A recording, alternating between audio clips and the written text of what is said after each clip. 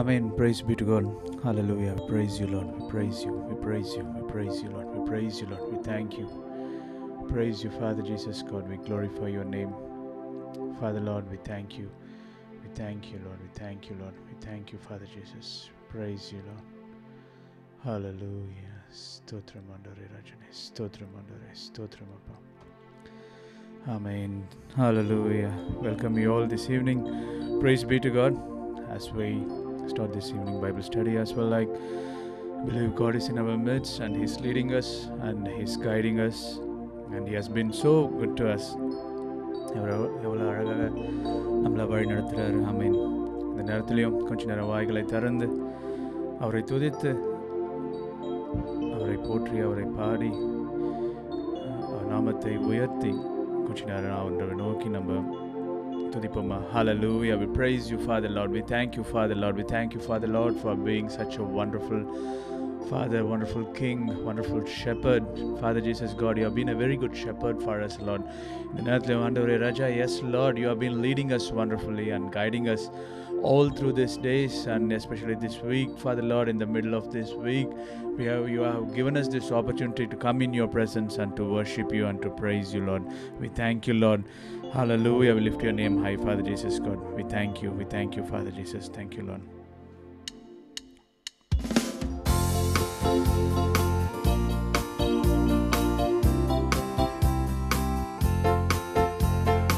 என் மெய்ப்பராய் இயேசு இருக்கின்ற போது என் வாழ்விலே குறைகள் என்பது ஏது என் மெய்ப்பராய் இயேசு இருக்கின்ற போது என் வாழ்விலே குறைகள் என்பது ஏது?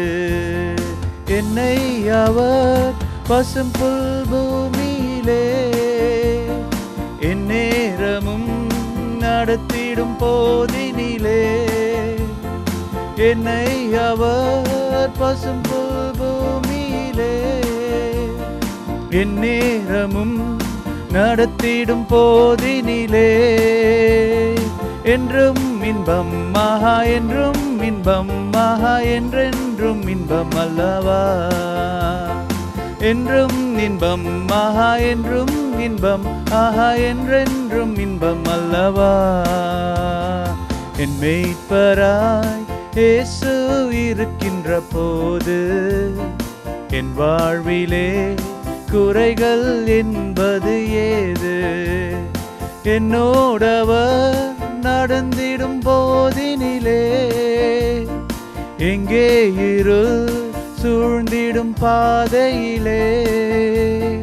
என்னோடவர் நடந்திடும் போதினிலே எங்கே இருள் சூழ்ந்திடும் பாதையிலே? எங்கும் ஒலி ஆஹா எங்கும் ஒலி ஆஹா எங்கெங்கும் ஒலி அல்லவா? எங்கும் ஒலி ஆஹா எங்கும் ஒலி ஆஹா எங்கெங்கும் ஒலி அல்லவா?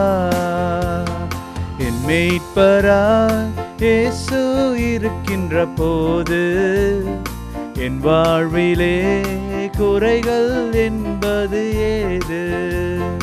என் மெய்ப்பராய் இயேசு இருக்கின்ற போது என் வாழ்விலே குறைகள் என்பது ஏது? என்னை அவர் அன்பால் நிரப்பியதால்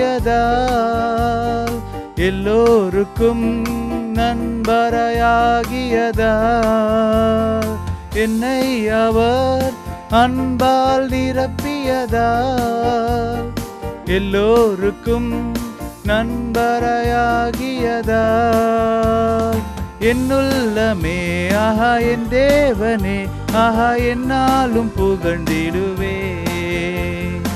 என்னுள்ளமே ஆஹா என் தேவனே ஆஹா என்னாலும் புகழ்ந்திடுவே. என் மீட்பராய் இயேசு இருக்கின்ற போது என் வாழ்விலே குறைகள் என்பது ஏது என் மெய்ப்பராய் இயேசு இருக்கின்ற போது என் வாழ்விலே குறைகள் என்பது ஏது Amen. Hallelujah. We praise you, Lord. We praise you, Father, Lord. We thank you, Appa.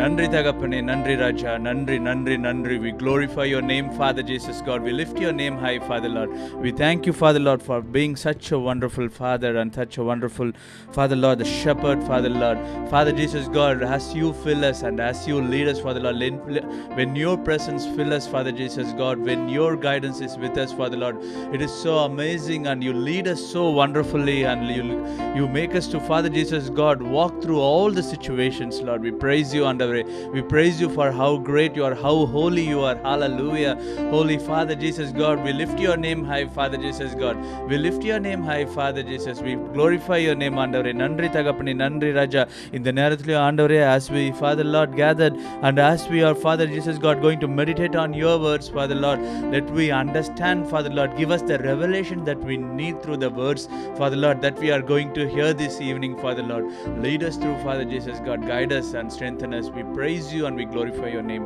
In jesus name i pray. Amen. Amen. Amen.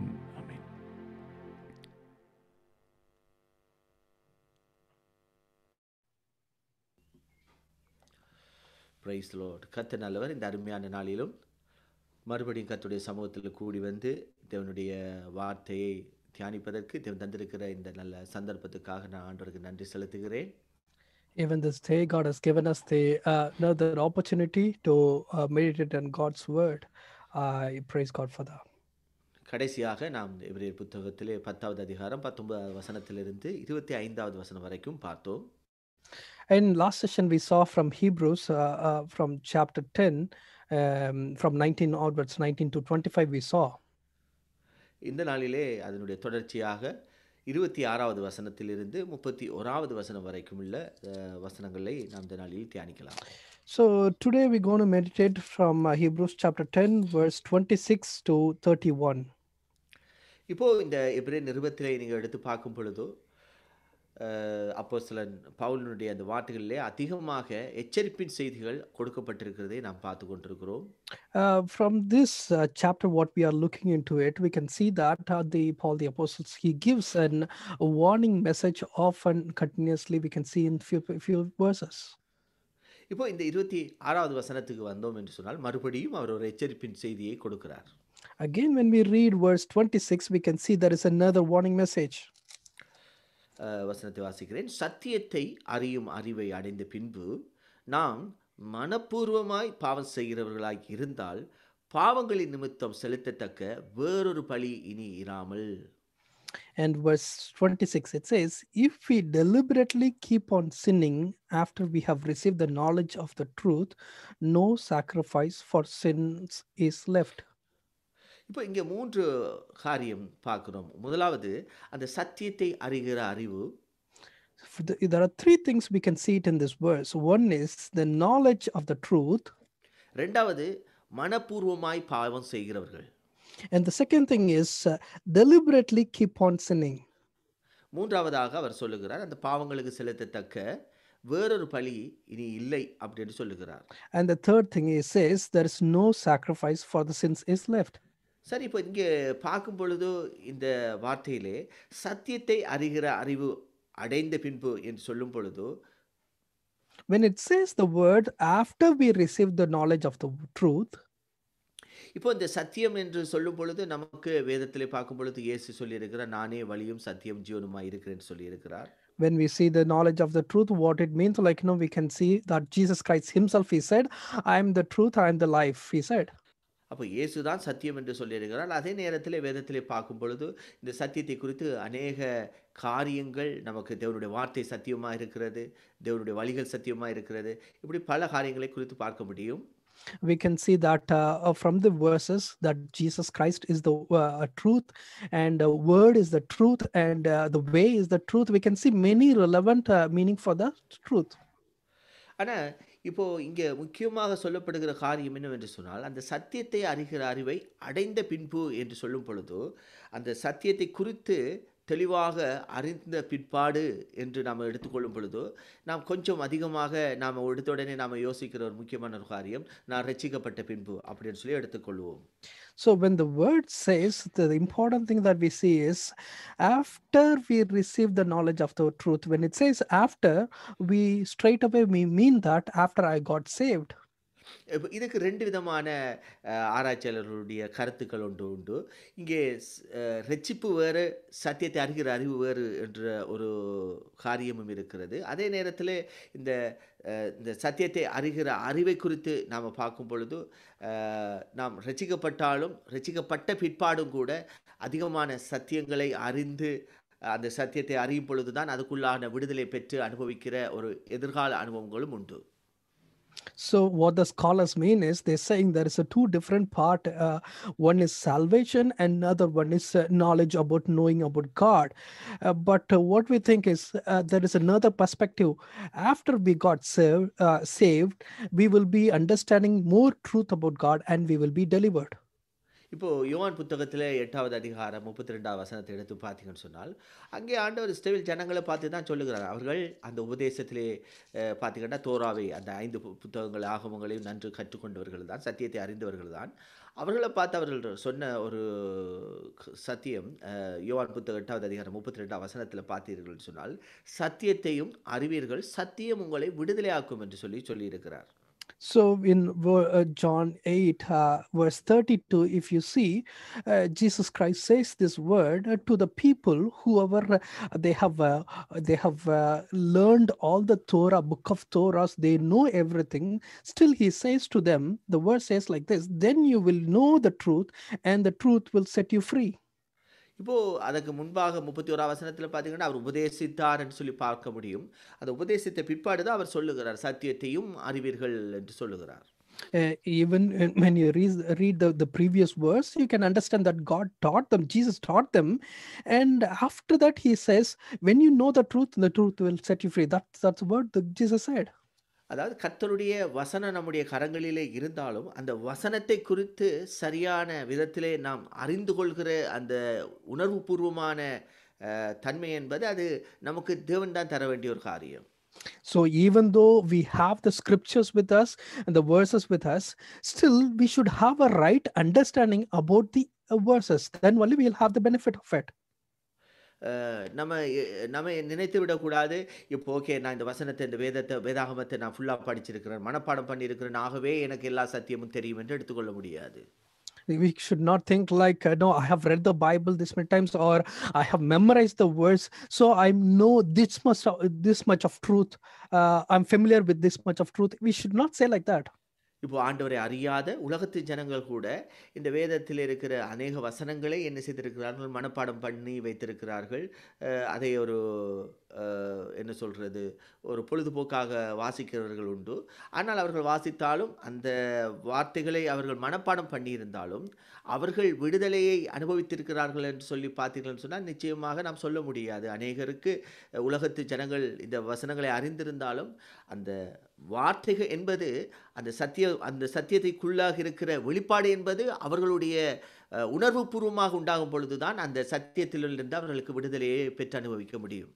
so when we see that in the worldly people they even there are many people they know the word some people they memorize the word uh, but if you but generally by reading uh, they they not get, get delivered it but when they really understand the word the knowledge of the light when comes into the heart and that will leads into them the de- deliverance அப்போது நாம் இந்த இடத்துல பார்க்கும் பொழுது சத்தியத்தை அறிவு அறிவை அறிவை அடைந்த பின்பு என்று சொல்லும் பொழுது அஹ், இங்கே பவுல் அப்போசலன் நிச்சயமாக இது தேவனுடைய சபைக்கு பேசுகிற வார்த்தை ரச்சிக்கப்பட்ட எப்ரேயர் அதாவது யூதர்களுக்கு எழுதப்பட்ட வார்த்தையாக பார்க்கும் பொழுது அவர்களுக்கு இந்த சத்தியத்தை குறித்து இந்த சத்தியத்தை குறித்து சொல்லும் பொழுது இயேசு கிறிஸ்து ப- பலியாக இந்த பூமியில் வந்தார் என்கிற அந்த சத்தியத்தை அவர்கள் அறிந்திருந்தார்கள் அவர்களுக்கு போதிக்கப்பட்டிருந்தது. அந்த அறிவை அடைந்த பிற்பாடு இருந்தவர்களுக்கு தான் இந்த வார்த்தையை அவர் பேசுகிறார். So you know that uh, Paul is speaking to this uh, saved Jews, uh, Jews who are saved. He was saying that all this truth after everything has happened, that uh, Jesus Christ has came and everything. They know that, that they, they, the the circumstance and situation. ஏன்னு சொன்னால் இப்போ இந்த இடத்திலே குறிப்பிட்டு பேசப்படுகிற இந்த சத்தியத்தை அறிகிற அறிவு என்பது இயேசு கிறிஸ்துவின் மூலமாக உண்டான அந்த பாவ மன்னிப்புக்குரிய பலியாக இயேசு பலியானார் என்கிற அந்த சத்தியத்தை குறித்து தான் இந்த இடத்திலே பவுல் அப்போஸ்தலன் பேசுகிறார் என்பதை நாம் தெளிவாக அறிந்து கொள்ள முடியும் So, from these verses, we clearly understand that Paul the Apostles that clearly he says, when it says the knowledge of the truth, he was meaning that that Jesus Christ came to this world and he has he become the sacrifice for us and he hung, hung on the cross. ஆகவே தான் நீங்கள் அதில் தொடர்ச்சியாக பார்க்கும் பொழுது அவர் சொல்லுகிறார் பாருங்க நாம் மனப்பூர்வமாய் பாவம் செய்கிறவர்களாய் இருந்தால் என்று சொல்லி சொல்லுகிறார் and that's the reason that when the verse uh, says, if we deliberately keep on sinning, இன்னொரு விதத்தில் அதை சொல்ல போனால் நாம் துணிகரமாக பாவம் செய்கிறவர்களாக அதாவது நம்ம மனதார ஓகே பாவம் செய்யும் பொழுது நான் ஆல்ரெடி என்னுடைய பாவங்களை ஆண்டவர் மன்னித்திருக்கிறார் எனக்காக பலியாயிருக்கிறார் என்று தெரிந்தும் அதற்கு பிற்பாடும் அந்த அது பாவம் என்று தெரிந்தும் நான் துணிகரமாக அதை செய்கிறவனாக இருப்போம் என்று சொன்னால் அப்படிப்பட்ட ஜனங்களுக்கு தான் இந்த வார்த்தையை அவர் பேசுகிறார் when he says these words, we should understand that he was meaning to the people who, who are uh, know the truth, but still they dare to uh, dare to sin, or with the whole hearted they try to they do the sin. For those people, he was uh, uh, he was giving this warning message. இப்போ நீங்க பழைய ஏற்பாட்டிலே பார்க்கும் பொழுது கூட எண்ணாகம புத்தகம் பதினைந்தாவது அதிகாரம் முப்பதாவது வசனத்தை பார்த்தீர்கள்னு சொன்னால் when you turn your Bibles to N- Numbers chapter 15, verse 30, இந்த மோசையினால் கொடுக்கப்பட்ட நியாயப்பிரமாண புஸ்தகத்தில் எழுதியிருக்கிறபடி அந்த இடத்துல கூட எப்படி சொல்லப்படுகிறதுன்னு சொன்னால் பாருங்க அன்றியும் தேசத்தில் பிறந்தவர்களாகிலும் அந்நியர்களிலாகிலும் எவனாவது துணிகரமான யாதொன்றை செய்தால் அவன் கர்த்தரை நிந்திக்கிறான். அவன் ஆத்துமா ஜனத்தில் இராதபடிக்கு அறுப்புண்டு போக வேண்டும். but uh, uh, verse 30 you can see that but anyone who sins definitely whether native born or foreigner or blasphemous அஹ், அதே போல யாத்ராம இருபத்தொன்று பதினாலில் பார்த்தாலும் also if you read exodus chapter 21 verse uh, 14 as well அங்கே கூட இப்படியா சொல்லுகிறது பிறனுக்கு விரோதமாக சதிமோசம் செய்து அவனை துணிகரமாய் கொன்று போட்டால் அந்த துணிகரம் என்ற வார்த்தை தான் இங்கே மனப்பூர்வமாய் பாவம் செய்கிறது என்ற அந்த வார்த்தையோட இதை நம்ம கம்பேர் பண்ண முடியும் so again if you read exodus chapter 21 uh, verse uh, uh, 14 uh, yeah uh, verse 14 if you read there also it says there is a word it says someone deliberately they kills or dead uh, any sin uh, we have பலிபடத்திலிருந்து he said the person is to be taken from the um, altar and put to death. அதாவது அவன் பலிபிடத்தில் வந்து தஞ்சம் புகுந்துட்டாலும் கூட அவன் பலிபடத்தில் வந்து நின்னா கூட அவனை விட்டுறாத அவனை கொல்லும் என்று சொல்லி சொல்லுகிறார் என்று சொன்னால் அந்த துணிகரமாக செய்கிற பாவத்துக்கு பாவம் பாவ மன்னிப்பு என்பது கிடையாது பழைய ஏற்பாட்டிலே. So he says that even though the person come to the altar and they try to hide there, uh, still he says that they have to be taken to death. Because what, what is the reason is uh, he was pointing out that if someone deliberately does the sin, then there is no sin, there is no uh, forgiveness. இப்போது எ- எண்ணாகம புத்தகத்தில் படித்து பார்த்தீங்கன்றால் தெரியும் அங்கே பழிகளை குறித்து பதினைந்தாவது அதிகாரத்தில் சொல்லப்படும் பொழுது தப்பிதம் அதாவது அவனுடைய துணிகரம் இல்லாமல் அவனை அறியாமல் தவறி தப்பிதமாக ஏதாவது பாவம் செய்தால் அதுக்குரிய பாவ நிவாரண பலிகள் போஜன பலிகள் பான பலிகளை குறித்து ஆண்டவர் எழுதி வைத்திருக்கிறார். So we can see that in uh, Exodus chapter 15, we can see that if someone made some mistake, uh, like you know, without their knowledge, uh, without their conscience, uh, then there is some uh, there is an offering they have to do it. Uh, uh, like you know, when they do some offering, it will be forgiven. ஆனால் அந்த துணிகரமான செய்த பாவத்துக்கு பாவ நிவர்த்தியை குறித்து வேதத்தில் சொல்லப்படவில்லை அதுக்கு ஸ்ட்ரெயிட்டுவே மரண தண்டனை தான் கொடுக்கப்பட வேண்டும் என்பது அஹ், நமக்கு இந்த தோராவில் எழுதப்பட்டிருக்கிற சத்தியமாக இருக்கிறது But uh, for the people who do does the uh, sin deliberately, there is no sin offering for them. Uh, when the only thing is they they will be put to death. Uh, if you read Torah, you can understand those things. இப்போது இந்த அடிப்படையில் தான் இங்கே இந்த வசனத்தை பார்க்கும் பொழுதும் மனப்பூர்வமாய் பாவம் செய்கிறவர்கள் என்று சொல்லும் பொழுது துணிகரமாக பாவம் செய்கிறவர்கள். அவர்கள் ரசிக்கப்பட்டு ஆண்டவர் அறிந்து இந்த சத்தியத்தை அறிந்த பிற்பாடும் அவர்கள் துணிகரமாக மறுபடியும் பாவத்திலே வாழ நினைக்கும் பொழுது அதுக்கு வேற பலி கிடையாது அப்படின்னு சொல்லி இந்த இடத்துல வசனத்திலே தெளிவாக அப்போஸ்தலன் பேசுகிறார் So uh, here, when we read the verse in Hebrews, Paul apostles, he says that when someone does the sin deliberately or wantedly, uh, or we can say that uh, with, with their wholehearted, uh, with a dare uh, thing, and then there is no other sin offering that can be offered to God to forgive us. இதற்கு ஒரு ஒப்பனையாக ஒரு வசனமாக அப்போ சொல்ல Yuan கூட ஒன்று Yuan ஐந்தாவது அதிகாரத்திலே பதினாறாவது வசனத்திலே எழுதியிருக்கிறதை நம்ம பார்க்க முடியும் Uh, there is another reference you can find it from uh, uh, First John chapter five, verse sixteen. அங்கே சொல்லுகிறது மரணத்துக்கு ஏதுவல்லாத பாவத்தை தன் சகோதரன் செய்ய ஒருவன் கண்டால் அவன் வேண்டுதல் செய்ய கடவன் அதாவது இங்கே சகோதரன் சொல்லும் பொழுது இங்கே ரட்சிக்கப்பட்டவனாக இருந்து ஆனால் அவன் மரணத்துக்கு ஏதுவல்லாத பாவத்தை செய்தவனாக இருந்தால் அவனுக்காக வேண்டுதல் செய்ய கடவன் சொல்லுகிறார் He says in verse 6 if you see any brother or sister commit a sin that does not lead to death, you should pray and God will uh, uh, give them the life.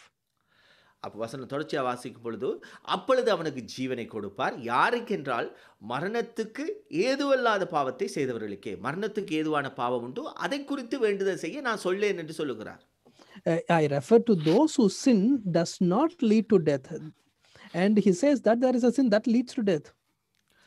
அப்போ இந்த இடத்துல நம்ம வரும்பொழுது இந்த சத்தியத்தை நம்ம தெளிவாக பார்க்க வேண்டும் என்ன சொல்ல வருகிறார்கள் சொன்னால் அப்போஸ்தலன் யோவான் கூட மரணத்துக்கு ஏதுவல்லாத பாவம் ஒன்று உண்டு மரணத்துக்கு ஏதுவான பாவம் ஒன்று உண்டு உண்டு Uh, even here you can see the apostle john what he is trying to explain to us there is a sin does lead to death and sin does not lead to death ஏன்னு சொன்னால் இதே சில யோவான் தான் யோவான் புத்தகம் sorry ஒன்று யோவான் முதலாவது அதிகாரத்திலே எழுதியிருக்கிறார்.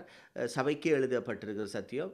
நாம் வந்து பாவங்களை அறிக்கை செய்யும் பொழுது நம்முடைய பாவங்களை சுத்திகரிக்கிறார் என்று எழுதியிருக்கிறார். ஆனால் அப்படி எழுதினவர் தான் இந்த இடத்துல வரும் பொழுது ஐந்தாவது அதிகாரத்தில் வரும் பொழுது மரணத்துக்கு ஏது அல்லாத பாவம் மரணத்துக்கு ஏதுவான பாவம் என்று ரெண்டாக பிரித்து குறிப்பிட்டு பேசுகிறார்.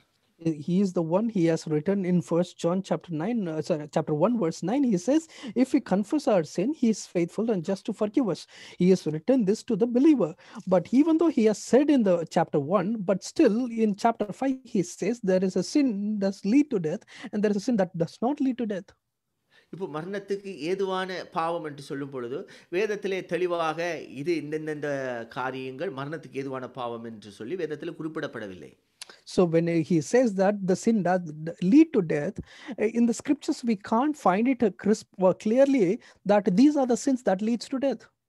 ஆனால் இயேசு கிறிஸ்து மத்திய புத்தகத்தில் பன்னிரெண்டாவது அதிகாரத்தில் முப்பத்தி ரெண்டாவது வசனத்தில் இப்படியாய் சொல்லியிருக்கிறார் But uh, if you read, Jesus Christ said in Matthew chapter 12, uh, verse 32, he says like this எவனாகிலும் மனுஷகுமாரனுக்கு விரோதமாக வார்த்தை சொன்னால் அது அவனுக்கு மன்னிக்கப்படும். எவனாகிலும் பரிசுத்த ஆவிக்கு விரோதமாக பேசினால் அது இம்மையிலும் மறுமையிலும் அவனுக்கு மன்னிக்கப்படுவதில்லை என்று சொல்லியிருக்கிறார். And the verse 32 it says, Anyone who speaks a word against the Son of Man uh, will be forgiven, but anyone who speaks against the Holy Spirit will not be forgiven, either in the age or in the age to come.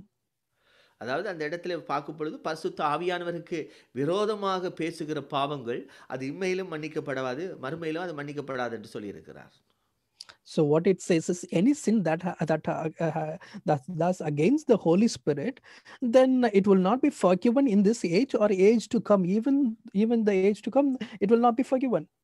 இதை தவிர மரணத்துக்கு ஏதுவான பாவங்கள் அப்படின்னு சொல்லி பார்க்கும் பொழுது நமக்கு வேதத்தில் எதுவுமே குறிப்பிட்டு பார்க்க முடியாவிட்டாலும் Even though apart from this, if you want to find some uh, any other sin that leads to death, you can't find it. Even though ஒன்று சாமியல் புத்தகத்தில் மூன்றாவது அதிகாரம் பதினான்காவது வசனத்தில் ஏலியினுடைய குடும்பத்தாருக்கு ஆண்டவர் சொன்ன ஒரு பாவத்தினுடைய தண்டனையை குறித்து பார்க்கும் பொழுது அங்கே கூட ஆண்டவர் சொல்லுகிற ஒரு தீர்ப்பை பார்க்கிறோம் So when you say, when you find it in 1 Samuel chapter 3 verse 14 you can see that uh, when uh, when uh, uh, God was speaking about the guilt of uh, Eli's house you can see there அங்கே சொல்லுகிறார் ஏலியின் குடும்பத்தார் செய்த அக்கிரமம் ஒருபோதும் பலியினாலாவது காணிக்கையினாலாவது நிவர்த்தியாவதில்லை என்று ஏலியின் குடும்பத்தை குறித்து ஆணையிட்டிருக்கிறேன் என்று கத்த சொல்லுகிறார் and uh, verse 14 it says like this therefore I swear to the house of Eli uh, the guilt of Eli's house will never be atoned by a sacrifice or offering அப்போது அந்த இடத்துல வரும்பொழுது கூட நம்ம பார்க்கும் பொழுது அங்கே ஏலியினுடைய பிள்ளைகள் செய்த பாவத்துக்கு பலியினாலோ காணிக்கையினாலோ நிவர்த்தி செய்யாதபடிக்கு அந்த பாவம் ஆண்டவர் என்ன செய்கிறார் மூடி போடாமல் அதை வைத்திருந்தார் என்று சொன்னால் அது ஒரு கொடூரமான பாவமாக தேவனுடைய பார்வையில் இருக்கிறது So when you can see that God says that their guilt will never be atoned for any sac by any sacrifice or offering, then we can understand that He is not ready to forgive by any means uh, for any cause.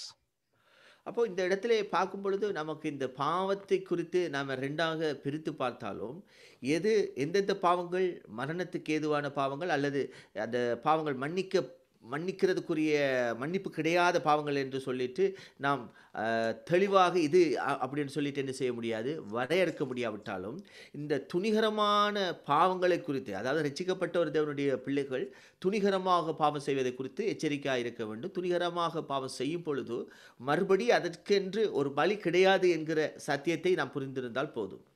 So even though we can't uh, clearly dis- differentiate what are the things that are s- what are the sin that leads to death or that are s- the, what are the sin that does not lead to death, we don't have the clear picture about it. But still, we should remember that if any sin that does deliberately, if anyone does deliberately, then it will not be forgiven. இப்போ இந்த சத்தியத்தை அறிகிற அறிவு அப்படின்னு சொல்லும் பொழுது அஹ், பேதுரு அப்போஸ்தலன் கூட இன்னொரு அவருடைய பேதுரு புத்த பேதுரு எழுதின நிருபம் ரெண்டாவது அதிகாரத்திலே அதற்கு ஒத்த ஒரு வசனத்தை அவரும் உபதேசத்திலே கொடுத்திருக்கிறார். Also when we read these kind of verses we can see that uh, even apostle peter peter the apostle he also uh, has written such kind of uh, uh, scriptures in uh, second peter's.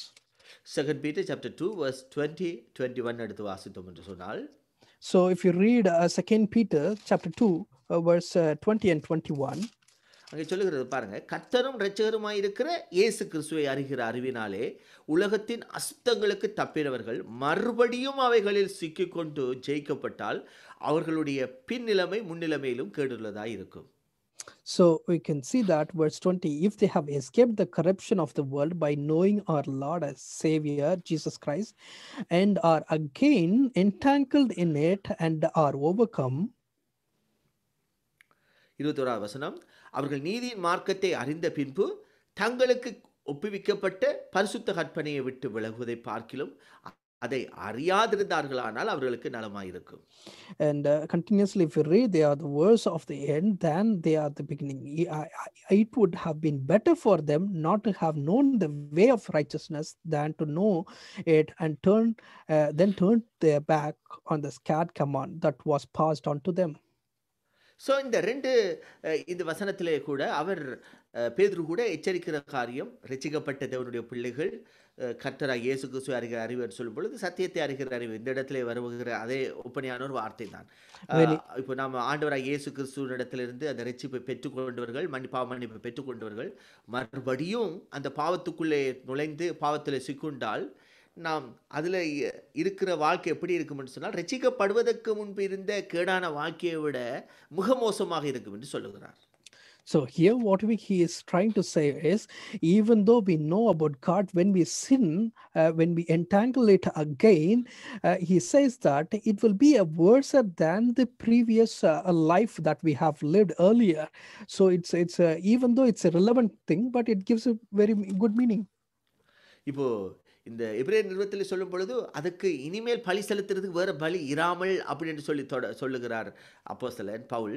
ஆனால் இந்த இடத்துல பேதுரு சொல்லும் பொழுது சொல்லுகிறார் நீ கற்பனையை விட்டு விலகுவதை பார்க்கிலும் அதை அறியாதிருந்தால் அவர்களுக்கு நலமாயிருக்கும் என்று சொல்லுகிறார். So when he says that in uh, hebrews chapter 10 you can see that uh, there is no sacrifice for sin is left like you know, if they if they deliberately did it then there is no sacrifice. He's just stopped there.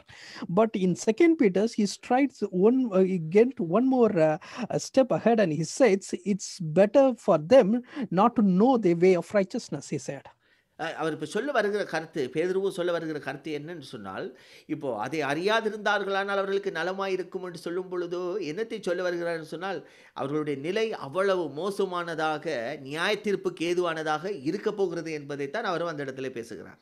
So when he says it's better for them to not to know the righteous way, when he says that, what it means is their life will be worse than that because the righteousness or the judgment that fall on them. He was pointing out to that. இப்போ லூக்கா புத்தகத்திலே பன்னிரெண்டாவது அதிகாரம் நாற்பத்தி ஏழாவது நாற்பத்தெட்டாவது வசனத்தில் இயேசு கிறிஸ்து சொன்ன ஒரு முக்கியமான சத்தியத்தை பார்க்க முடியும் Also, we can see it in Luke chapter 12, uh, verse 47 and 48. There is an incident that Jesus Christ has said, uh, incident. அங்கே சொல்லுகிறார் பாருங்க தன் எஜமானுடைய சித்தத்தை அறிந்தும் ஆயத்தமாக இராமல் அவனுடைய சித்தத்தின்படி செய்யாமல் இருந்த ஊழியக்காரன் அநேக அடிகள் அடிக்கப்படுவான் Uh, uh, Luke chapter 12, verse 47 and 48. It says, The servant who know the master's will and does not get ready or does not uh, do what the master want to be will be beaten with many blows. ஆனால் வசனம் நாற்பத்தெட்டில் சொல்லுகிறது அறியாதவனாய் இருந்து அடிகளுக்கு ஏதுவானவைகளை செய்தவனோ சில அடிகள் அடிக்கப்படுவான் But but when you read verse 48, you can see, but the one who does not know and does the things deserving punishment will be beaten with few flow, few blows. எவனிடத்தில் அதிகம் கொடுக்கப்படுகிறதோ அவனிடத்தில் அதிகம் கேட்கப்படும் அப்போ அந்த இடத்துலையுமே பார்க்கும் பொழுதும் இதே காரியத்தை தான் பேசுகிறார் இப்போ நான் அறிந்திருத்தேன் சத்தியத்தை அறிந்துட்டேன் என்று சொன்னால் அந்த அறிந்திருக்கிற அளவுக்கு தக்க விதமான தண்டனை நமக்கு உண்டு So uh, the followed by that, he says, for everyone who has been given much, much, much will be demanded. What he says is, if you understand the truth, then there will be more expectation that will be uh, on your eyes. ஆகவே தான் நம்ம மிக எச்சரிக்கையாக இருக்க வேண்டும். இந்த இடத்துல எப்ரேல் புத்தகம் பத்தாவது அதிகாரம் இருபத்தி ஏழாவது வசனத்தில் வந்தோம் என்று சொன்னால் அங்கே இனி செலுத்துகிறதுக்கு வேறு பலி இல்லாமல் என்று சொல்லி போட்டு இருபத்தி ஏழாவது வசனத்தில் சொல்லுகிறார் நியாய தீர்ப்பு வரும் என்று பயத்தோட எதிர்பார்க்குதலும் விரோதிகளை பட்சிக்கும் கோவாக்கினமே இருக்கும் என்று சொல்லுகிறார். And uh, when you read, uh, he says that there is no sacrifice for sin.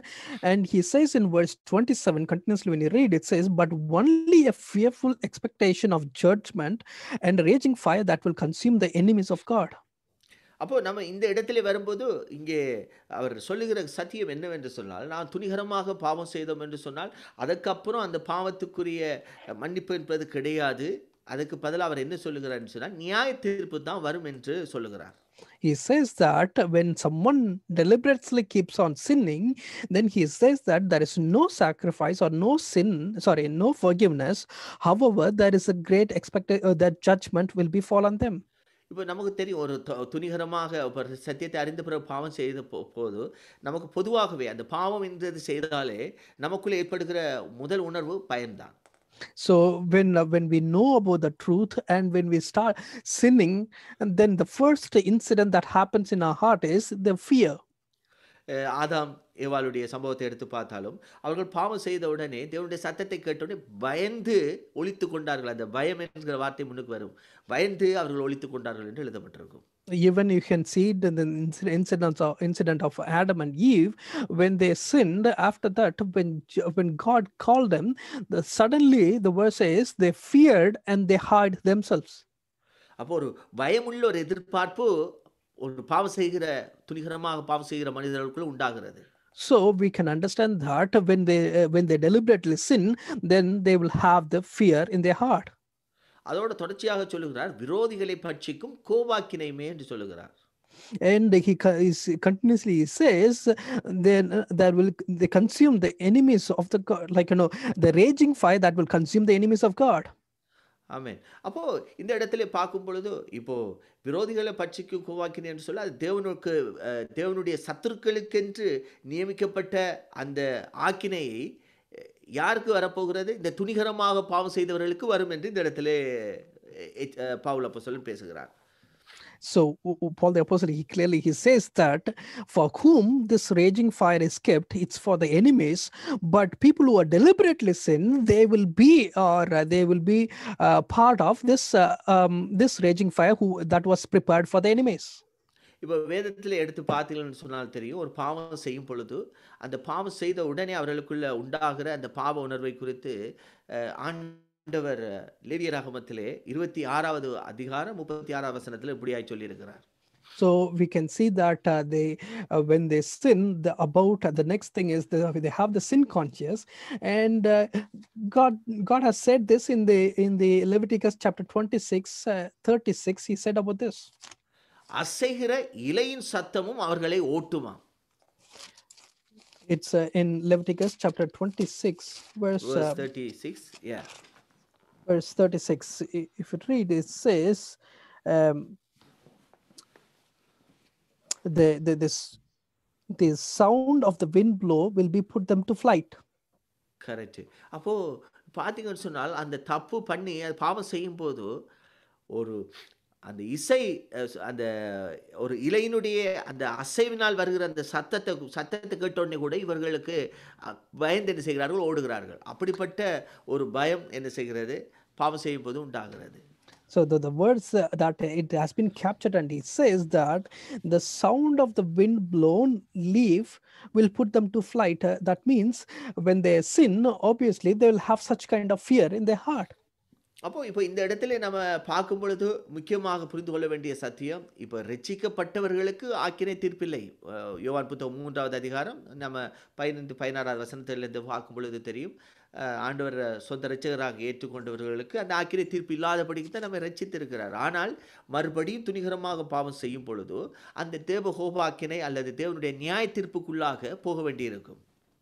Uh, so when you read uh, further to it in John chapter 3 verse 16 you may know that when someone asks for the forgiveness and accept that Jesus Christ is the Lord and Savior we know that there is no condemnation for them அப்போது இந்த இடத்துல அவர் எச்சரிக்கிற காரியம் கடைசி நியாய தீர்ப்பை குறித்து அந்த இடத்துல பேசுகிறார் but in this place he was saying about the the, the final judgment for them அஹ் பாவம் செய்தவர்களுக்கு ந- அந்த நியாய தீர்ப்பின் அந்த வெள்ளை சிங்காசனத்துக்கு முன்பாக அவர்கள் நிற்க வேண்டியிருக்கும் so when they sin deliberately sin then there is no con- uh, no way that they have to stand before the white throne for the judgment ஆனால் இப்போ ரசிக்கப்பட்டவர்களுக்கு நமக்கு கிறிஸ்துனுடைய நியாயஸ்தானத்துக்கு முன்பாக நிற்கிறோம் என்று வேதம் சொல்லுகிறது but uh, the, the word clearly says that the people who are saved uh, that we will be standing in the in the throne of god for the judgment இப்போது கிறிஸ்துனுடைய நியாயசானம் என்பது அது ஒரு நியாயம் தீர்க்கிறதா இராமல் நமக்கு கிரீடம் வழங்கப்படுகிறதாக இருக்கிறது ஆனால் இங்கே வெள்ளை சிங்காசன நியாய தீர்ப்பு என்பது அது தண்டனையை கொடுக்கிற ஒரு இடமாக இருக்கிறது so when it says christ judgment that is the place that uh, it will be a reward for us and uh, it will be a reward for us but when we say about the white throne judgment that is where the judgment come the little judgment of the punishment that comes in தொடர்ச்சியாக இருபத்தி எட்டாவது வசனத்தை பார்த்தோம் என்று சொன்னால் மோசையினுடைய பிரமாணத்தை தள்ளுகிறவன் இரக்கம் பெறாமல் இரண்டு மூன்று சாட்சிகளின் வாக்கினாலே சாகிறானே and uh, verse 28 in hebrews chapter 10 verse 28 it says anyone who rejects the moses uh, the, the law of the moses died dead without mercy on the testimony of two or three witnesses இப்போ இந்த கிருபையினால் உண்டான இந்த புதிய உபதேசத்துக்கும் மோசையின் மூலமாக கொடுக்கப்பட்ட நியாயப்பிரமாணத்தினால் வருகிற தண்டனைக்கும் உள்ள அஹ், காரியத்தை அவர் அந்த இடத்துல மறுபடியும் காண்பிக்கிறார் also uh, he, the, the author he just he just compares and he just shows that and the difference that uh, uh, the, the the people who are living in the grace and people are, uh, are following the law of moses அதாவது மோசையினால் கொடுக்கப்பட்ட அந்த நியாயப்பிரமாணத்தின்படி அங்கே பார்க்கும் பொழுது நமக்கு பழைய ஏற்பாடு எடுத்து வாசித்தீர்கள்னு சொன்னால் உபாகம புத்தகம் பதினேழாவது அதிகாரம் ஐந்தாவது ஆறாவது வசனத்தை கூட வாசித்தீர்கள்னு சொன்னால் அங்கே சொல்லப்பட்டிருக்கும். யாராவது ஒரு ஆள் அக்கிரமம் செய்திருந்தால் அந்த புருஷனோ ஸ்திரியா யாராக இருந்தாலும் அதை வெளியே கொண்டு போய் அப்படிப்பட்டவர்கள் சாகும்படி கல்லறிய கடவா என்று சொல்லுகிறார். so we can see that in deuteronomy chapter 17 verse uh, 5 verse 6 you can see that uh, if anyone uh, makes any sin uh, uh, then they have to uh, take to the uh, corner or the city gate and they have to be stoned to death ஆனால் கொள்வதற்கு முன்பாக verse சிக்ஸில் சொல்லும்போது சொல்லுகிற சாவுக்கு பாத்திரமானவன் ரெண்டு மூன்று சாட்சிகளுடைய வாக்கினாலே கொலை செய்யப்பட கடவன் அப்படின்னு சொல்லுகிறார் And uh, but in verse 6, you will understand that it says, uh, on the testimony of two or three witnesses, a person is to be put to death. இப்போது இந்த இடத்துல வரும்பொழுது அவர் என்னத்தை காண்பிக்க விரும்புகிறார் என்று சொன்னால் மறுபடியும் இந்த மோசையினுடைய நியாயப்பிரமாணத்தை கைக்கொள்ளுகிறவர்களே ரெண்டு மூணு சாட்சியினால் சாகிறார்களே அப்படின்னு சொல்லி போட்டு தேவனுடைய குமாரனான இயேசு கிறிஸ்துவை காலின்கள் மிதித்து அப்படின்ற போது அங்கே என்னத்தை கம்பேர் பண்ணுகிறான்னு சொன்னால் இந்த மோசையினுடைய நியாயப்பிரமாணத்தை பார்க்கிலும் மோசையின் மூலமாக கொடுக்கப்பட்ட பிரமாணத்தை பார்க்கிலும் தேவகுமாரனன் மூலமாக கொடுக்கப்பட்டிருக்கிற இந்த கிருபையின் பிரமாணம் என்பது ஒரு மேலானது என்பதை காண்பிக்க விரும்புகிறார் So the, we can see that he was just comparing, and he says that in the previous verse, he says about the, the law of Moses, and with through two or three witnesses, they can be uh, they can be killed. But followed by that, but even though Jesus Christ has given us the, the commandment that which is which is greater than the Moses commandment, but still we put it under the foot.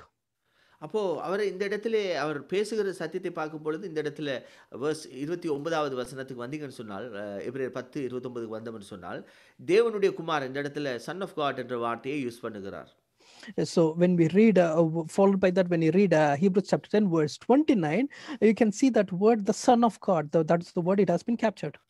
அப்போ இங்கே இயேசு கிறிஸ்து தேவனுடைய குமாரன் ஆக காண்பிக்கிறார் மாத்திரமல்ல. அங்கே சொல்லுகிறார் அவருடைய அவர் இங்கே காலின் கீழ் மிதித்து என்று சொல்லும் பொழுது இங்கே நாம் துணிகரமாக பாவம் செய்கிற காரியத்தைக்கு உரிய காரியத்தை அவர் எப்படி பார்க்குறாரு என்று சொன்னால் நீங்கள் தேவனுடைய குமாரனே நீங்கள் என்ன செய்கிறீங்க காலின் கீழாக மிதிக்கிறீங்க என்று சொல்லுகிறார். So when you read uh, verse 29, you'll understand that uh, uh, it has been captured as Son of God. that is uh, Jesus Christ. He was he was captured as Son of God. But he says that uh, even though he has given the uh, such a thing, but but you guys are when we do the sin deliberately, then we are we are putting trampling him under the foot. அப்போ இந்த இடத்துல வரும்பொழுது நாம் மிச்சம் அவதானமாக இருக்க வேண்டிய ஒரு காரியத்தை இந்த இருபத்தொன்பதாவது வசனம் இன்னும் தெளிவாக நமக்கு எச்சரிக்கிறது So uh, in verse 29, when we read it, uh, it gives a very clear understanding and it uh, gives a severe warning about the sin. அங்கே மோசையினுடைய பிரமாணம் என்பது ஒரு மிருகத்தினுடைய இரத்தத்தினாலே அங்கே அவர்களுடைய பாவங்கள் மன்னிக்கப்பட்டது. But uh, when we see that, the, when we come go with the law of Moses, that uh, by the by the uh, blood of an animal, uh, sin will be redeemed. இங்கே இருபத்தொன்பதாம் வசனத்தில் சொல்லுகிற தன்னை பரிசுத்தம் செய்த உடன்படிக்கை இரத்தம். இப்போ இயேசு கிறிஸ்துனுடைய அந்த பரிசுத்த இரத்தம் நம்மை பரிசுத்தப்படுத்தியிருக்கிறது அது உடன்படிக்கை இரத்தமாக இருக்கிறது என்று சொல்லுகிறார். But here it says it's the holy blood, and the, it's a blood of covenant that will sanctify us. அப்போ இதில் மூன்று காரியத்தை அவர் பேசுகிறார். முதலாவது தேவகுமாரனை காலின் கீழால் மிதித்து என்று சொல்லுகிறார். ரெண்டாவது பரிசுத்த செய்த உடன்படிக்கை ரத்தத்தை அசுத்தம் என்று எண்ணி என்று சொல்லி பார்க்கிறோம். And uh, the first thing we say, if we, we can see that uh, he called him as a son of God. And uh, second thing we can see, the first thing he says that you are trampling under, uh, trampling the son of God under the foot. The second thing we see that who has treated as an unholy thing the blood of the covenant that sanctify them. மூன்றாவது கிருபையின் ஆவியை நிந்திக்கிறவன் அப்படின்னு சொல்லுகிறார் And the third one he says who has insult the spirit of grace. அப்போது இங்கே பார்க்கும் பொழுது இது மூன்று காரியத்தை பார்க்கும் பொழுது அவர் சொல்லிட்டு சொல்லுகிறார் பாருங்கள் எவ்வளவு கொடிதான ஆக்கினைக்கு பாத்திரவானாக இருப்பான் என்பதை யோசித்து பாருங்கன்னு நம்மள்ட்டே அவர் விட்டுட்டார் He just he says that how much more severely do you think someone deserved to be punished?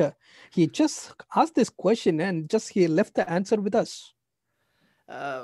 இது ஒரு உண்மையாக நம்ம கொஞ்சம் ஆழமாக பார்த்தோம் என்று சொன்னால் அவர் அங்கே ஈஸியாக மோசையினுடைய கம்பேர் பண்ணி காட்டிட்டார். ரெண்டு மூணு சாட்சினால் அங்கே சாகுறாங்க. ஆனால் அதை காண்பிச்சுட்டு அதை விட இந்த தண்டனை மிக மோசமாக இருக்கும். அதை நீங்கள் யோசித்து பாருங்கள் அப்படின்றார். So uh, he just wa- wa- want to compare that with the previous, uh, like you know, uh, the law of Moses, and he says that there is uh, two or three judgment we need. Sorry, witness we need to get the judgment. But think about the incident he has given, and uh, the judgment he just give it to us to think about it. இது இந்த ச- வசனத்தை வாசிக்கும் போது நமக்கு கொஞ்சம் சரித்திர ரீதியாகவும் பார்க்க வேண்டும் So when we read uh, these verses, we just want to uh, look back the history as well. இப்போ அந்த நாட்களிலே இருந்த சபைகள் உங்களுக்கு தெரியும். சினகோக்கள் சொல்லப்படுகிற ஜெப ஆலயங்கள் தான் யூதர்களுக்கு ஒவ்வொரு அவர்கள் இருந்த ஏரியாக்களிலே இருந்திருக்கிறது. So we know that in the olden days uh, there are uh, there are only synagogues uh, in the times of uh, Jewish period. அஹ் இப்போ தேவனுடைய ஆலயம் இருந்தாலும் அதுக்கு பார்த்தீங்கன்னு சொன்னால் அதை தாண்டி இந்த ஜெப ஆலயங்கள் அவங்க ஏரியாகளிலே அவர்கள் இருந்த ஊர்களிலே ஒரு ஜெப ஆலயம் இருக்கும். அந்த ஜெப ஆலயத்துக்கு தான் இவர்கள் அதிகமான ஒரு கம்யூனிட்டியாக அவர்கள் போயிட்டு வருகிற ஒரு இடமாக இருந்திருக்கிறது Uh, e- even though they have a main temple of God, uh, the, the main uh, main uh, temple of God, but still they'll have a synagogue where they gather often uh, to meet the people. என்று சொன்னால் தேவாலயத்துக்கு வருஷத்தில் மூன்று தரம் தான் ஆண்கள் போயிட்டு வருவார்கள் ஆனால் இந்த ஜெபாலயம் என்பது ஒவ்வொரு வாரமும் அவர்கள் போகிற ஒரு இடம் So, but you know that that for the temple, temple of God, they go uh, yearly three times. That is, the, only the men's will go to the uh, temple of God.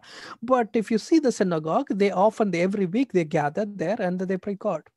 அப்போ இந்த யூதர்களாக இருந்து ரச்சிக்கப்பட்ட கிறிஸ்தவர்கள் அவர்கள் கிறிஸ்தவர்கள் ஆனது நிமித்தம் இந்த ஜெப ஆலயங்களிலே அவர்கள் போவதற்கு அங்கே தடைகள் விதிக்கப்பட்டன அந்த கம்யூனிட்டியிலிருந்து அவர்கள் ஒதுக்கப்பட்டவர்களாக அவர்கள் தள்ளி வைக்கப்பட்டிருக்கிறார்கள் தள்ளி வைக்கப்பட்டவர்களாக இருந்திருக்கிறார்கள் Uh, so when the Jews co- uh, community people, when they have saved, when they accepted Jesus, uh, they were uh, they were uh, uh, they were limited and they're not allowed to get into the synagogue.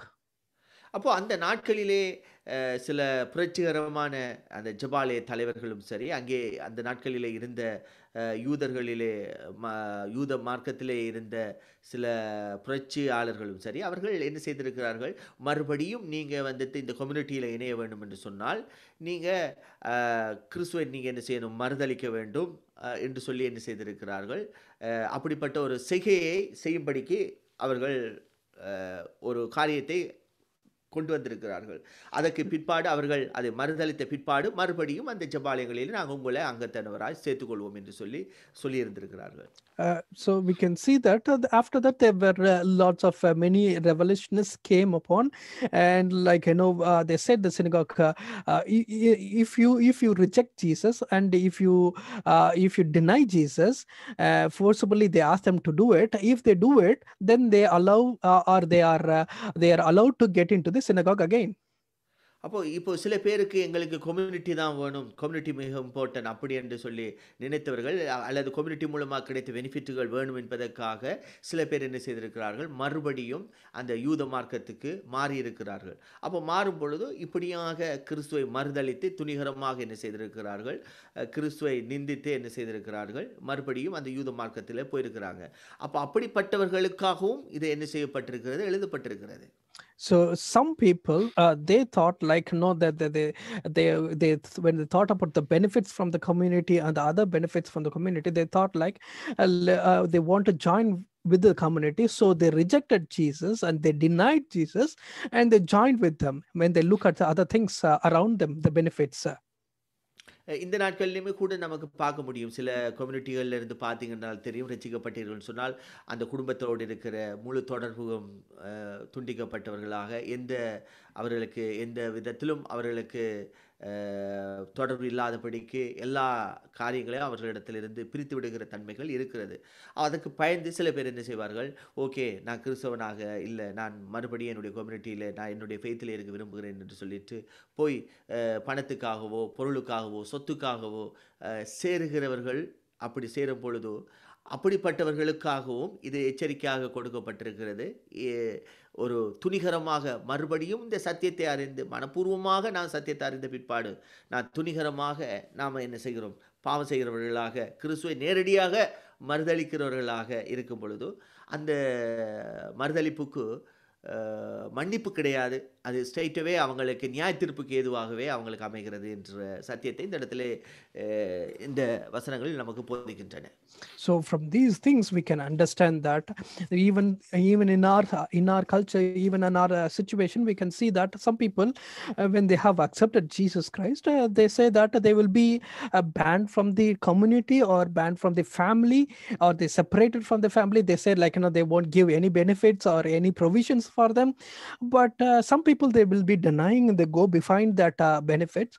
But uh, few people they stay in the faith and uh, they will understand it. They won't forgive uh, the, they won't uh, uh, deny jesus and they will stand on the faith.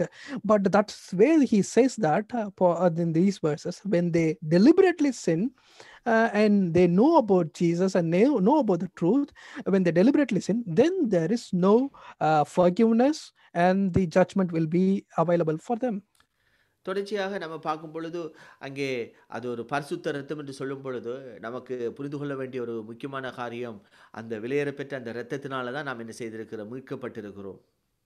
So when it says the holy blood uh, we we all understand that because of that uh, because of the blood we has been redeemed and we has been forgiven.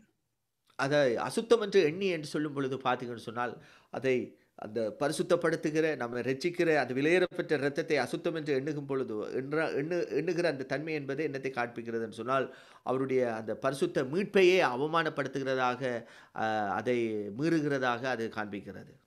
So when we say that, uh, even though it's a holy blood, what it says is uh, they treat as unholy blood. Uh, that's uh, that's where even though it's a precious blood, the blood that saves us, but uh, these people that treat them as an unholy place, unholy blood, that's where God's na- their name is disgraced. இப்போ தொடர்ச்சியாக பார்த்தீங்கன்னா கிருபை நாவியை நிந்திக்கிறோம்னு சொல்லும் பொழுது நமக்கு தெரியும் mark மூன்று இருபத்தி ஒன்பதுல கூட அஹ், இயேசு கிறிஸ்து சொன்ன ஒரு காரியம் பரிசுத்த ஆவிக்கு விரோதமாக தூசணம் சொல்வானாகில் அவன் மன்னிப்படையாமல் நித்திய ஆக்கினைக்குள்ளாவான் அப்படின்னு சொல்லி ஆண்டவர் இயேசு கிறிஸ்து கூட அதை குறித்து பேசியிருக்கிறார் Also, we can see that uh, when he says that uh, if they insult the spirit of grace, uh, even in Matthew chapter, uh, the Mark chapter 3, verse 29, you can see that uh, if anyone sin against uh, a Holy Spirit, then it will not be uh, forgiven. That's what it says. சரி தொடர்ச்சியாக நாம் முப்பதாவது வசனத்துக்கு வந்தோம் என்று சொன்னால் And uh, followed by that, when we read uh, Hebrews chapter 10, verse 30, அவர் சொல்லுகிறார் பழி வாங்குதல் எனக்குரியது நானே பதில் செய்வேன் என்று கத்த சொல்லுகிறார் என்றும் கத்த தம்முடைய ஜனங்களை நியாய தீர்ப்பார் என்றும் சொன்னவர் இன்னார் என்றும் அறிவோம் என்று சொல்லுகிறார் For we know him who said, It is mine to avenge, I will repay. And again, the Lord will judge his people. இப்போ இருபத்தொன்பதாம் வசனத்தில் நீங்க யோசித்து பாருங்க எப்படிப்பட்ட தண்டனை வரும் என்று சொன்னவர் இப்போ முப்பதாம் வசனத்தில் வரும் பொழுது என்ன சொல்லுகிறார்னு சொன்னால் பழி வாங்குதல் எனக்குரியது அப்படின்னு சொல்லி கத்த சொல்லுகிறார் E- even though verse 29 he says that he left left to us to think about it and uh, think about he said that think about the the punishment that we deserve and after that he says in verse 30 that uh, lord is the one who avenge அவர் சொல்லும் பொழுது அடுத்ததா சொல்லுவார் கத்த தம்முடைய ஜனங்களை நியாயம் தீர்ப்பார் என்று சொன்ன ரெண்டு வசனத்தை ரெண்டு வசனத்தை கோட் பண்ணி சொல்லுகிறார் இன்னார் என்று அறிவோம் அப்படின்னு சொல்லுவார் சொல்லுகிறார் and this there are two verses he quotes it says it is mine to avenge i will repay and another verse he says the lord will judge his people and he says uh, for we know who said this அப்போது நமக்கு என்னத்தை இவர் காண்பிக்கிறான்னு சொன்னால் பழைய ஏற்பாட்டு காலகட்டத்தில் பார்க்கும் பொழுது சொல்லப்பட்ட இந்த வார்த்தைகள் இரண்டுமே. வாம புத்தகத்தில் முப்பத்தி ரெண்டாவது அதிகாரம் முப்பத்தி ஐந்தாவது வசனத்தில் பார்த்தீங்கன்னு சொன்னால் அங்கே சொல்லுகிறார் ஆண்டவர் பழி வாங்குதலும் பதிலளிப்பதும் எனக்குரியது அப்படின்னு சொல்லியிருந்தால் சொன்னபடியே நமக்கு தெரியும். ஃபுல்லாக நாம் பழைய ஏற்பாட்டை வாசித்து பார்த்தோம்னு சொன்னால் தேவனுடைய பழி வாங்குகிற தன்மை எப்படிப்பட்டதாக இருந்தது என்பதை நாம் அறிந்து கொள்ள முடியும். So even though we can see that in uh, in olden days, we can see that uh, that uh, Lord has said that it, in Deuteronomy chapter two verse thirty five, it is mine to avenge; I will repay. In the due time, their food sleep, sleeps. So that's what he says. He too, it is for mine to take the revenge.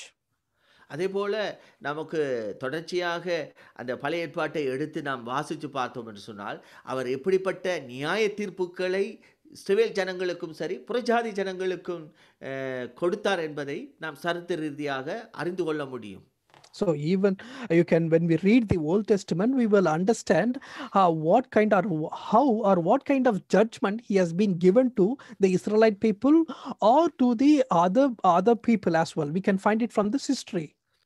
அதில் இன்னொரு பக்கத்தையும் நான் உங்களுக்கு காண்பிக்க விரும்புகிறேன். இந்த பழி வாங்குதல் எனக்குரியது அப்படின்னு சொல்லும் பொழுது புதிய ஏற்பாட்டு கிறிஸ்தவ ஜீவியத்தில் பார்க்கும் பொழுதும் சரி என்னத்தை புரிந்து கொள்ள வேண்டும் என்று சொன்னால் நாம் சில நேரங்களில் ரசிக்கப்பட்டவர்களாக இருந்தாலும் நாம் பதில் வா பழி வாங்குகிறவர்களாக இருக்கிறோமா என்பதையும் நாம் ஆராய்ந்து பார்க்க வேண்டும். So when it says about these verses about the avenge or revenge, we can see it in New Testament also about the Christians that we live in this time. Uh, It has to it reminds us to think about it. Are we are the person that takes revenge against anyone?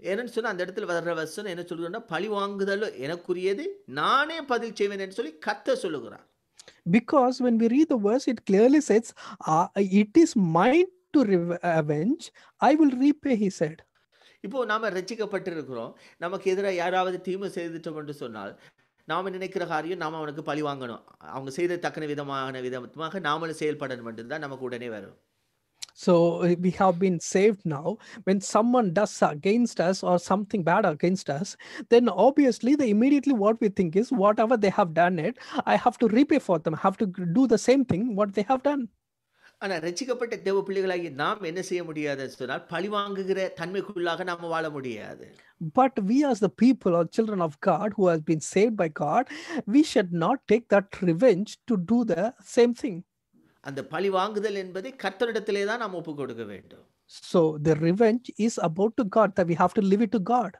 இந்த ரோமர் புத்தகம் பனிரெண்டாவது அதிகாரம் பதினெட்டாவது வசனத்திலிருந்து இருபத்தி ஓராவது வசனம் வரைக்கும் நீங்க வாசித்து பார்த்தீர்கள்னு சொன்னால் So in Romans, if you read from chapter 12, uh, verse 18 to 21, அங்கே அருமையாக இந்த வார்த்தையை குறித்து பவுல் அப்போஸ்தலன் பேசுகிறார் uh, even there you can see from uh, Paul the Apostle, he has just explained it clearly.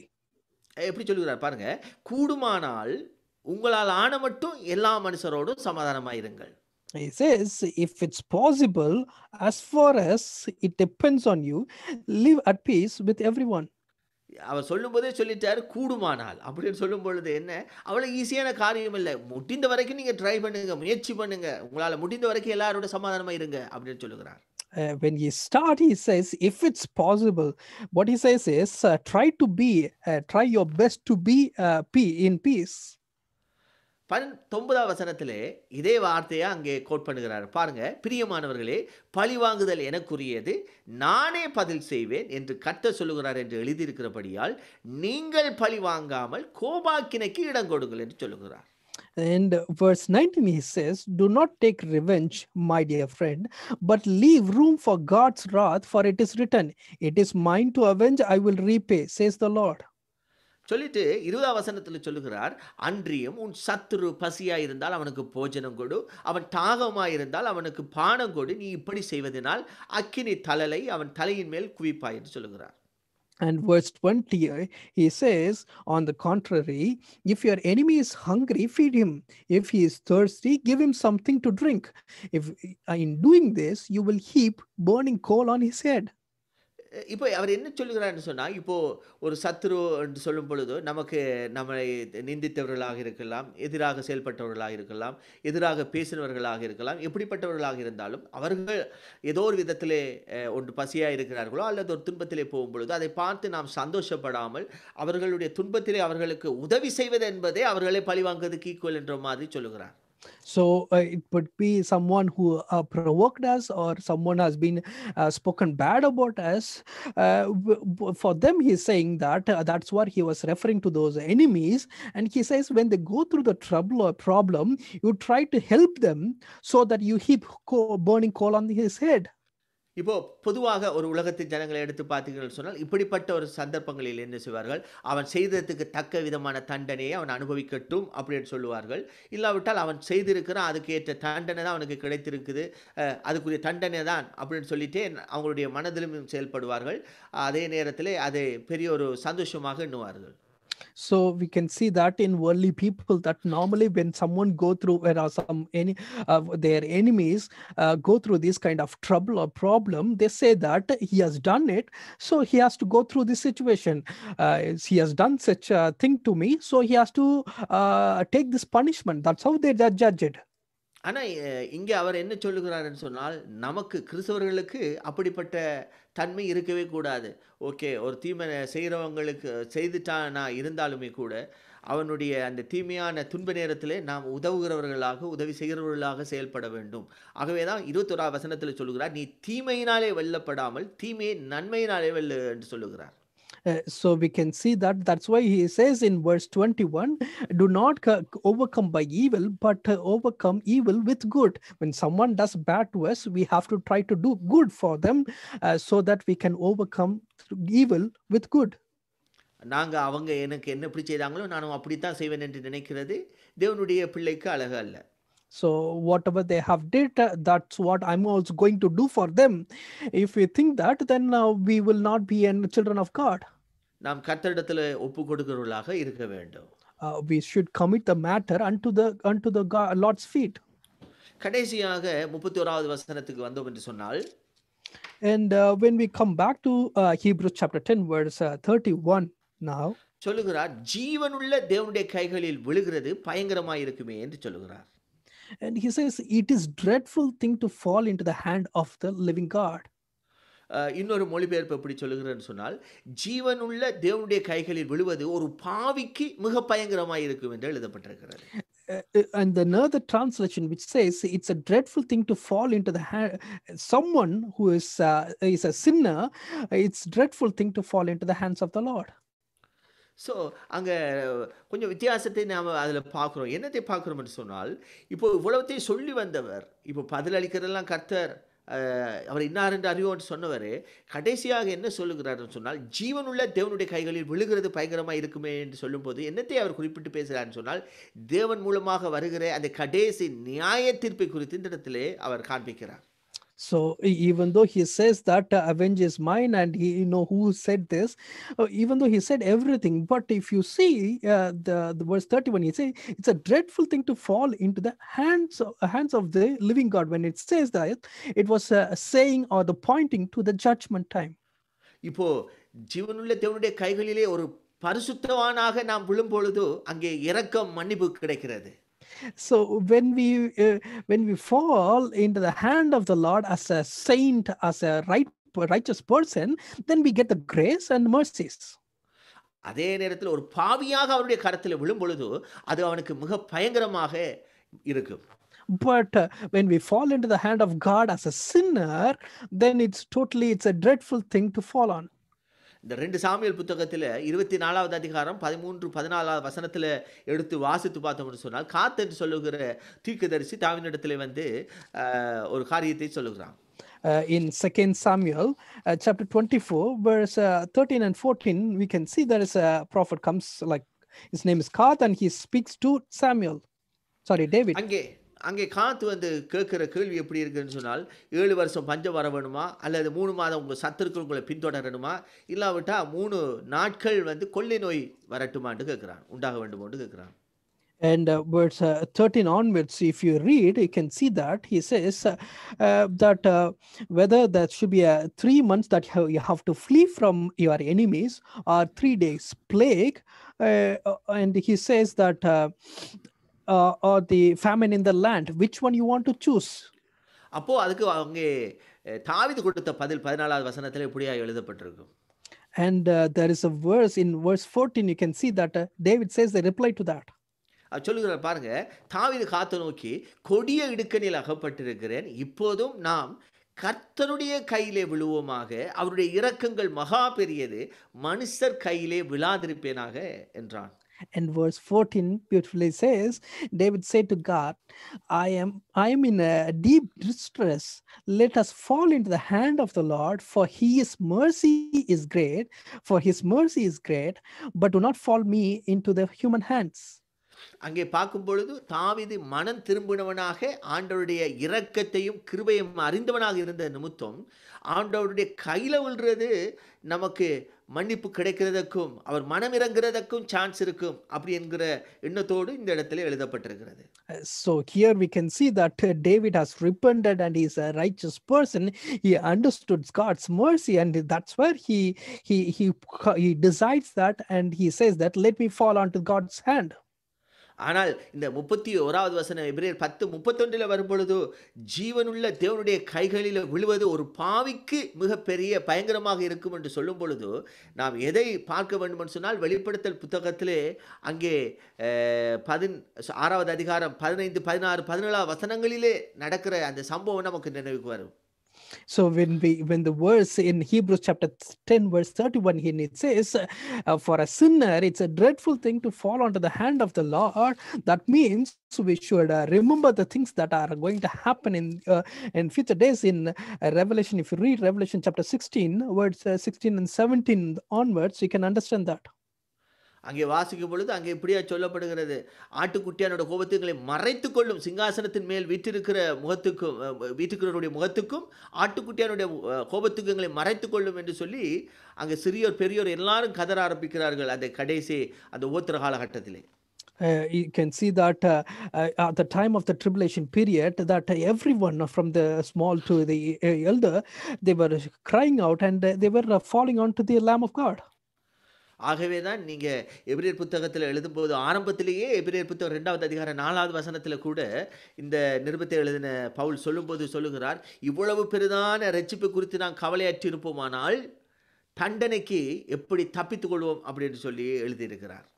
and uh, we can see that uh, that's where in hebrews chapter 2 uh, verse 4 he says that uh, if we ignore this great salvation then uh, uh, then what is the purpose in it and what kind of judgment we will we accomplish ஆக இந்த வார்த்தையில நமக்கு பார்க்கும் பொழுது இங்கே தேவனுடைய கையில் விழுவது என்பது ஒரு பக்கம் நியாய தீர்ப்பை பாவிகளுக்கு காண்பிக்கிறது. அதே நேரத்தில் பரிசுத்தவானாக அவருடைய கையில் விழுவது என்பது ஒரு பாவ மன்னிப்பையும் அவருடைய கிருவையை பெற்றுக்கொள்வதை காண்பிக்கிறது. அப்போ இந்த இடத்துல வரும்பொழுது முப்பத்தொரா வசனத்தில் வருகிற காரியம் ஒரு பாவி தேவனுடைய கையில் விழுவது என்பது அவனுக்கு மிக மோசமான ஒரு தண்டனைக்குரிய அனுபவமாக இருக்கும். So when we, as a righteous person, as a saint, when we fall under the hand, God, the hand of God, then it brings the forgiveness and the grace. But a sinner, when they fall, it will be a, as it says in Hebrews ten thirty one, for a sinner, it's a dreadful thing to fall on the hand of the Lord. சரி இதனுடைய தொடர்ச்சியை வருகிற அடுத்த பாடத்திலே நாம் முப்பத்தி ரெண்டாவது வசனத்திலே இருந்து நாம் தொடர்ச்சியாக பார்க்கலாம் இப்பொழுது நாம் ஜெபம் பண்ணி இந்த பாடத்தை முடிவு முடிவு கொண்டுடலாம் So uh, in the next session, we're going to meditate from verse 32 onwards. So let us finish off with this uh, uh, by today, and uh, let's bow down and let us pray now. பிதாவே இந்த வேலைக்காக நாங்கள் உமக்கு நன்றி செலுத்துகிறோம் Father God, uh, we give thanks for this time, Lord. இந்த அருமையான நேரத்திலும் இந்த கேட்ட சத்தியத்தில் ஆண்டவரே எத்தனையோ எச்சரிக்கையான செய்திகளை நீர் எங்களுக்கு பேசியிருக்கிறீர் Lord, uh, even this time, Father God, uh, you have uh, spo- spoken to us through warning message, even though they have spoken many uh, warning messages to us. எங்களுடைய வாழ்க்கையில கூட கர்த்தாவே ஏதாவது விதத்திலும் ஆண்டவரே துணிகரமான பாவம் எங்களுடைய வாழ்க்கையில ஒட்டாதபடிக்கு ஆண்டவரே எங்களை நீ சுத்திகரிக்க வேண்டும் என்று நாங்கள் ஜெபிக்கிறோம் Lord, we pray, Father God, Lord, there should not be any, uh, Lord, uh, sin or deliberate sin or uh, dared sin, Father God. If there is any, Lord, we pray to cleanse us, Father God. எங்களுடைய வாழ்க்கையில ஆண்டவரை எந்த விதத்திலும் ஆண்டவரை உண்மை துக்கப்படுத்தாதபடிக்கு உம்முடைய சத்தியத்தை அறிகிற அறிவிலே தொடர்ச்சியாக வளர அதில் நிலைத்து நிற்க நீர் எங்களுக்கு கிருபை தருவீராக uh, Lord, anything that displeases or disappoints you, Father God, we pray, Father God, to uh, get away from that and let us stand firm in your word, Father God.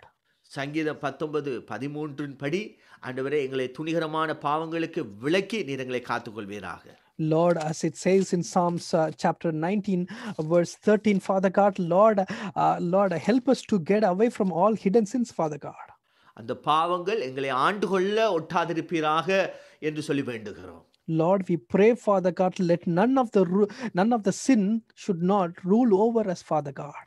அப்பா இந்த வேளையில கூட கேட்ட வார்த்தையின்படி உமது பிள்ளைகளாகிய நாங்கள் தொடர்ச்சியாக சத்தியத்திலே வளர்ந்து கனி கொடுக்க உமக்கு என்று சாட்சியாக நிற்க உதவி செய்தரலாம் Lord, as your children, Father God, we listen to your word.